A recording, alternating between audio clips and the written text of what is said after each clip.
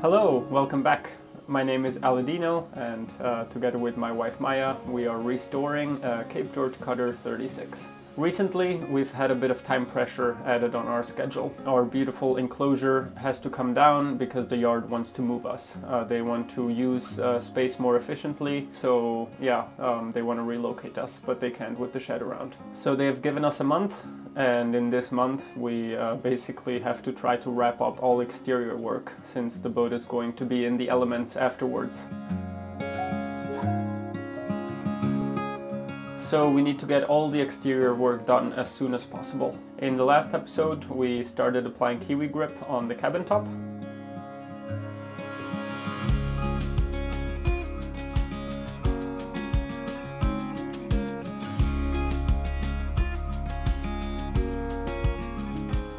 I've never used Kiwi Grip before, but I'm really happy with it.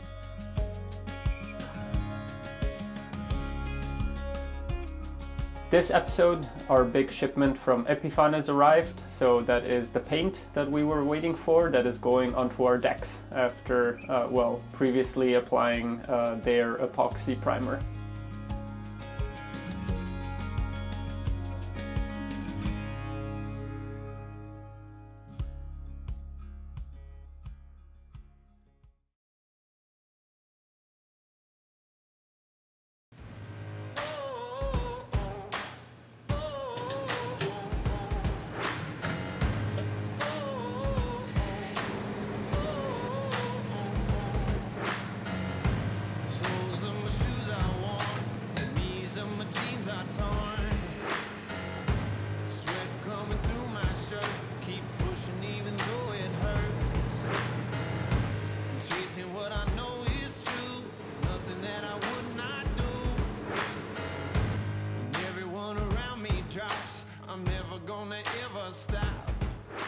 I spent quite a while masking off the entire deck.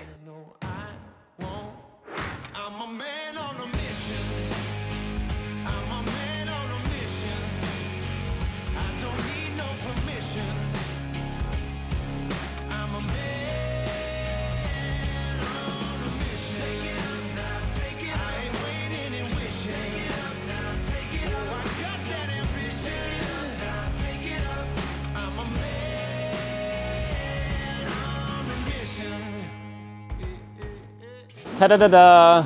Real-time emotions, minutes before painting. Um, well, yeah, I am hella stressed.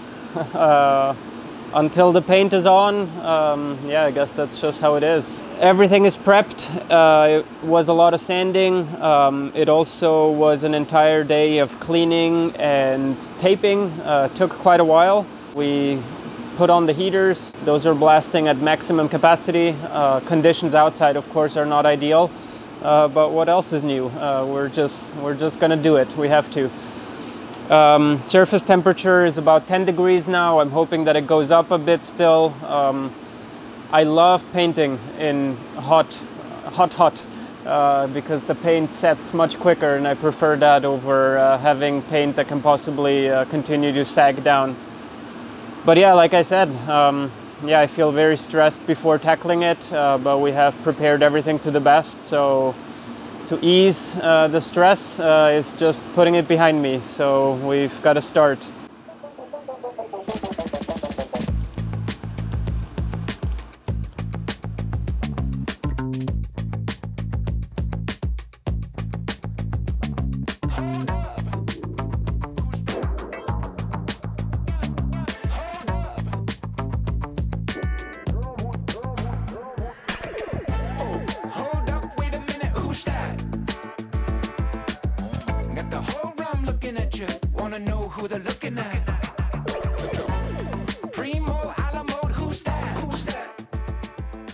Masking takes quite a long time and that is not just because um, of the size of the boat and because you have to do perimeters which always uh, are bigger uh, but it's also because there was uh, the design involved. You have to decide uh, how, how, do we want to uh, break up the non-skid, uh, what do our patterns look like, uh, how wide do you want to have the tape lines, like all those things um, are a little harder to gauge when it's done with colorful tape. But yeah, there is some rules around it. Just around some hardware, sometimes uh, you don't want to go too wide with the frame, with the white frame around it, and in other places instead you want them to be a little wider, where you divide the foredeck. Also the waterways next to the bulwarks, um, those could be a little bit wider uh, than the rest there's endless patterns uh, and so yeah we just taped it up and when we were happy um, then uh, I cut the radiuses and there also you can decide uh, to go with a bigger radius or a smaller radius. Uh, so yeah. We just did what we thought would look good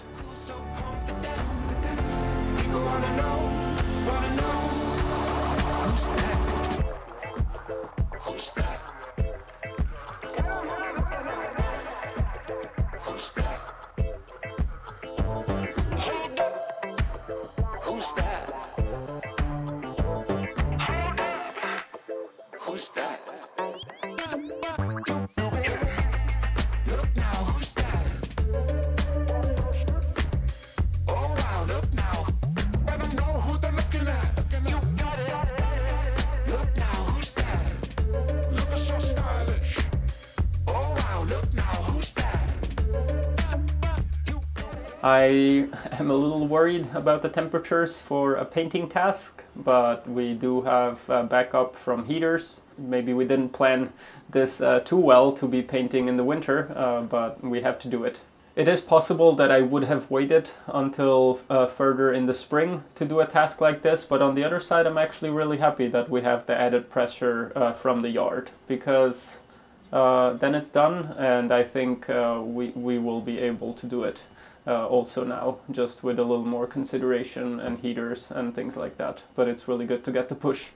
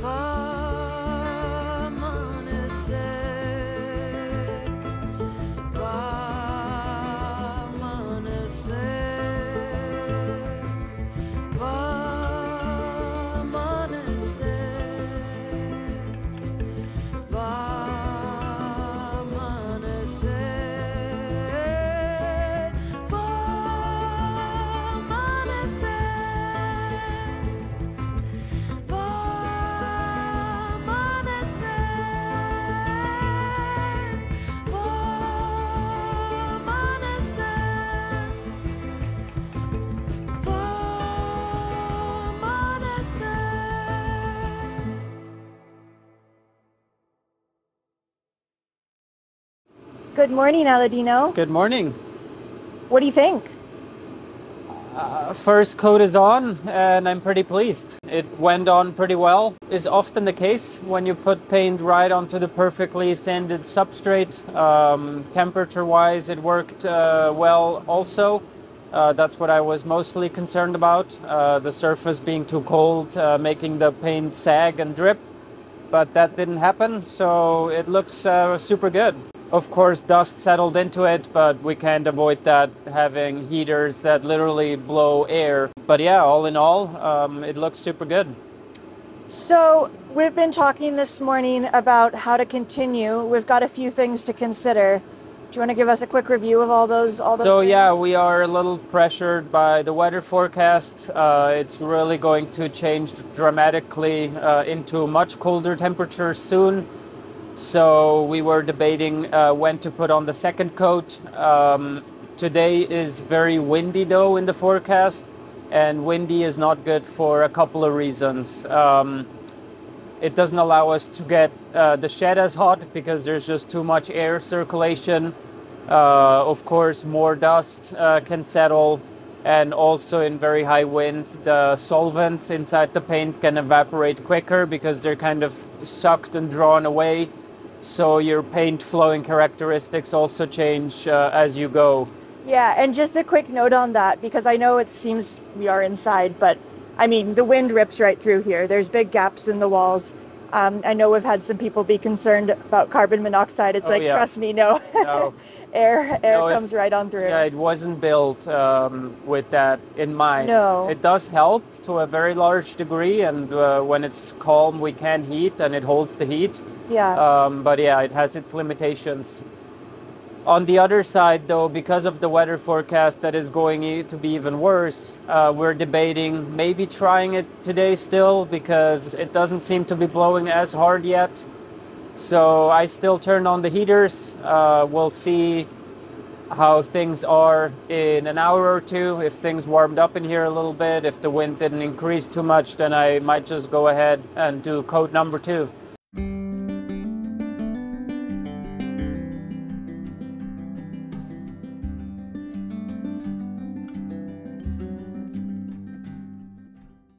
So in here is a project that I've been working on very much just in between moments um, when I'm not editing or when I'm not filming Aladino or helping Aladino or, or whatever. Just basically when I've got a spare moment. And I haven't really been filming it a lot. But as you do know, I did film the fact that I varnished the beams up here. Do you want to come up here, Dean? And as you might also know, this was something that I really debated for a while whether or not I was going to do this because is it a necessary step to be floating to have to have varnished beams in here? No, of course not. But it just I think the the unfinishedness of the overhead compared with how lovely the finish is on everything else just didn't sit right with me, so I thought I'm going to do a quick job of this. I'm not going to spend too long on it. Um, because at some point some sort of stain or something was added to these beams. And when i've been refinishing all the other wood on the boat i really sanded all of that off and it takes a while to get off. But i did a few test pieces and i discovered that at least on the teak whether i sand it off or leave it on it doesn't actually make too much of a difference to the color of the wood once the varnish is applied. So I thought, well, I'm just not going to sand too heavily. I did a really quick little scrub just to make sure, you know, it's not too smooth of a surface. And then I varnished. And it looks pretty good. It looks all right. Totally. But there is one thing about it that I was sort of debating. And that is these beams aren't just solid teak. There's this teak part here, and then this is, I don't know, cedar or something. Or Yeah. Port Orford cedar. Is a Port Orford cedar? Um, and once sanded, this provides a really nice contrast. You can see it up here because Aladino did all the work on the hatch. And you can see this contrast where this has been sanded right down and you've got this yellow cedar with the dark teak. And it looks really, really nice. I think this also looks nice, but it requires so much more work to get to this. And in here, this is not really a room where you spend time or hang out or entertain guests, so I just didn't go for it. But I decided to go for it in the saloon. Nice. and I, I'm really happy. I think I'm glad I'm doing it here and not in there. I'll do it in the galley too. Um, I think it's going to look really, really striking to have that contrast in the wood. And yes, it does take a while, but that's why I said I've just been doing it in in between moments. Perfect. Um, the strategy I've been using is to use the Mirka orbital sander to do mo- to get most of it off because that's just the most efficient sander we have. It makes it so easy. But of course, with a round orbital sander, you can't get into the corners. So then I've been using the quarter sheet sander to get most of it off, and then using the fine multi-tool just for the very, very last little touch ups because I find for whatever reason this really clogs up so quickly and become like the sandpaper becomes unusable. I don't know if it's the speed. It seems to generate a lot of heat, but for whatever reason, this clogs almost. Well, instantly.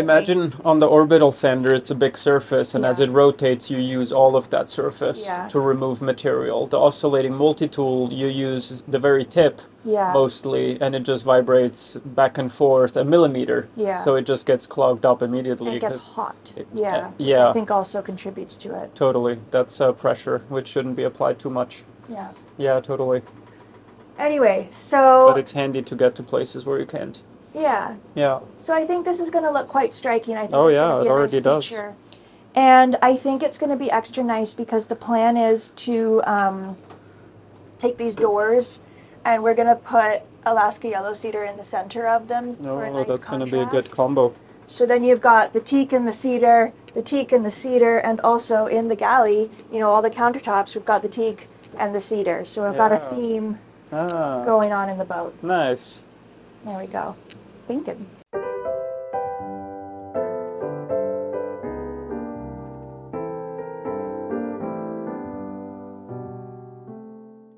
Given the time pressure placed on us by the yard, I really decided to focus my efforts on the exterior of the boat and help Aladino with everything happening out there. So you might be wondering why I'm also still working on the beams interior. It's just because, you know, with the exterior tasks that we have right now, there's not really like full-time work for me out there. Uh, paint has to dry. Aladino is definitely the expert at applying the paint, and so he just does it, and then it dries, and there's not much you can do in the interim. So I've been finding that I'm still continuing on some of the interior tasks, and then just you know prioritizing the exterior whenever whenever jobs arise. But I think that works out well. I you know, certainly am happy to see such huge visual progress happening outside. I think I'm also grateful for the push from the yard because I know Aladino waits for perfection a lot of the time. And, you know, I think this is a good thing that we're still going to get really good results, even though the conditions, not every single condition is absolutely ideal. I think we're making the absolute best of what we're given, and I'm really pleased. You did it, Dini. All right, so here it is. Uh, it's the day after, and uh, paint is on, and uh, it looks pretty good.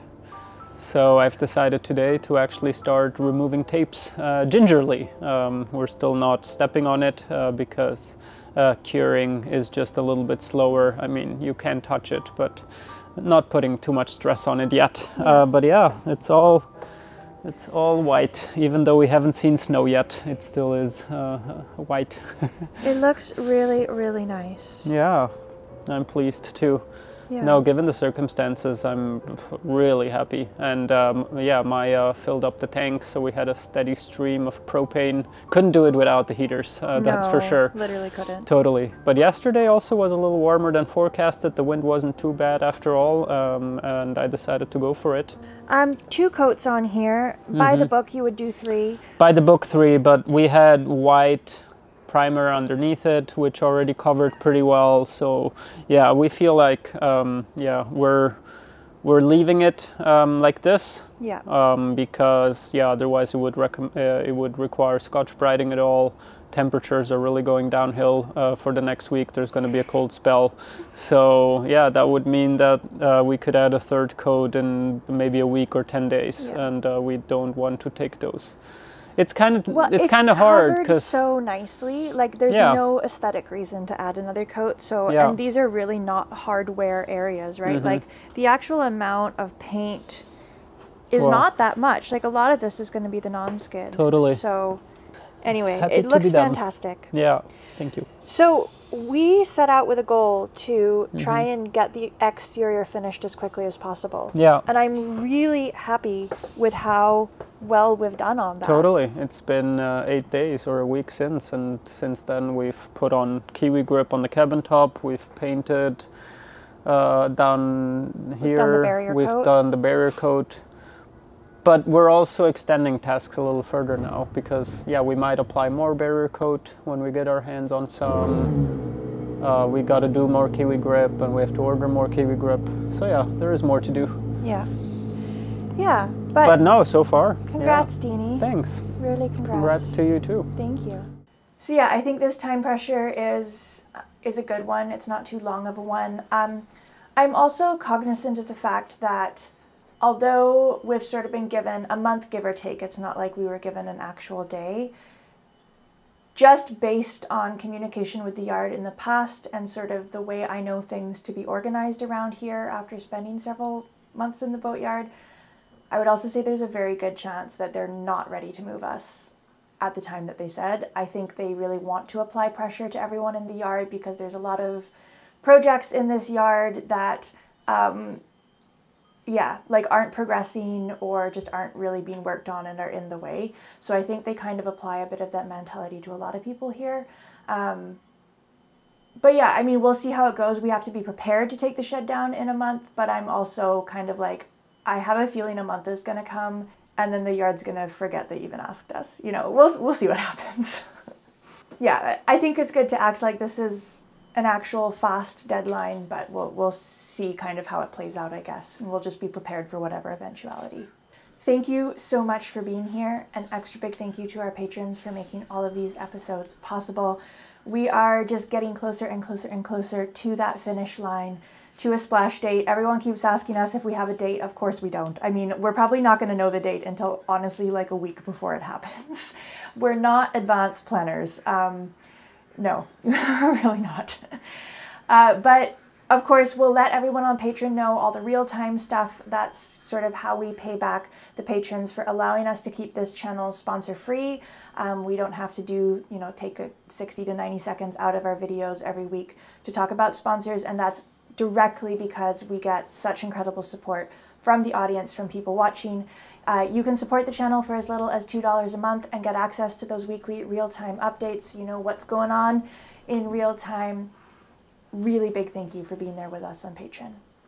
And an extra big thank you to the folks whose names are now appearing on screen for always going the extra mile to make sure that Magic Carpet keeps being produced. As always, we'll see you next Friday.